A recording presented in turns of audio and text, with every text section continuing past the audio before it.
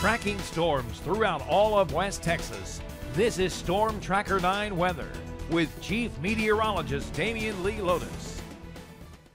Hey, Damien, how's the weather? The weather was really, really nice today. A perfect way to end that school week. Thank you so much to the fifth graders at Travis Elementary School in Odessa.